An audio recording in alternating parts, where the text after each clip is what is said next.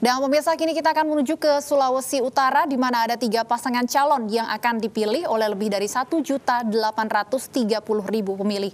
Tiga pasangan calon tersebut adalah paslon nomor urut 1 Kristiani Eugenia Paruntu, Sehan Salim dan paslon nomor urut 2 Foni Aneka Penambuan Henry Runtuwene dan paslon nomor urut 3 Oli Dono Kambe Stephen Kando. Untuk melihat perkembangan terkini di salah satu posko pemenangan paslon sudah ada rekan kami Jeffrey Langi. Jeffrey, bagaimana situasi di sana saat ini, bagaimana proses hasil hitung cepat sejauh ini? Oke, Stefani dapat saya laporkan saat ini saya berada di rumah kediaman calon petahana calon gubernur petahana Sulawesi Utara eh, Bapak Oli Rondo Kambe, di mana di lokasi ini dijadikan lokasi penghitungan cepat oleh tim kampanye daerah.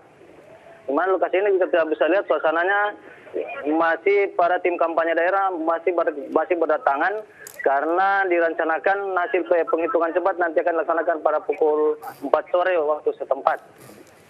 Dan terlihat untuk saat ini eh, tim kampanye menyediakan satu layar monitor besar eh, di mana tiga, tiga di mana terlihat baru baru tujuh kabupaten kota yang yang masuk dalam data yang dilakukan oleh Carta Politika ya, dan di mana pada mana pada saat ini sudah sekitaran 18 persen suara yang masuk dan masih unggul calon petahana pasangan Olidondo Kambe dan Stephen Kando.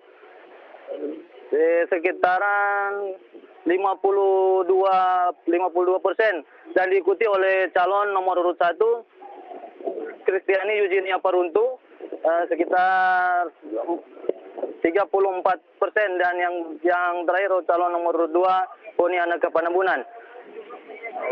Demikian Stefani.